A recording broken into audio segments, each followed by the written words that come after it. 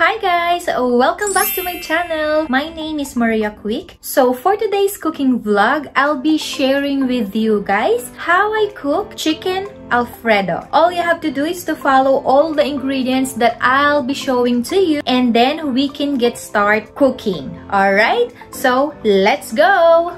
In this recipe, we need pasta, onion, garlic, parsley, white mushroom, ground black pepper, salt, butter, half and half, and chicken.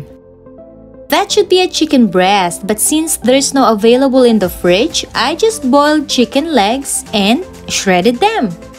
Always remember that there's a solution in every situation we are facing. My friend said that we should be proactive and not reactive. In a large cooking pan with salted water and small amount of cooking oil, cook the pasta according to the package instruction. Once the noodles are al dente, you can drain them and set aside.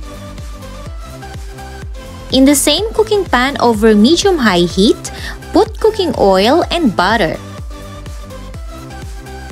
Saute the onion until it becomes soft. Add the sliced mushroom and cook them until it turns slightly brown.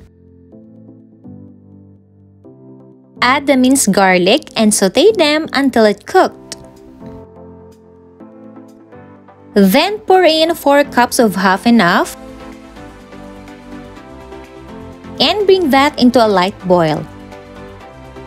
Now you can add your chicken along with parsley and season to taste. Stir and wait to boil. Now you can add 2 cans of all-purpose cream and 1 can of evaporated milk. Then add the pasta gradually into the pan and stir until it combined together.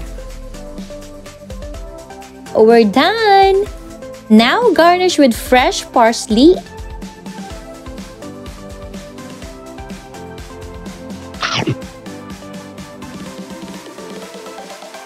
And there you have it. Easy peasy, right? If you like this video, don't forget to give us a thumbs up and don't forget to subscribe and hit the notification bell for more updates. So, see you on my next one.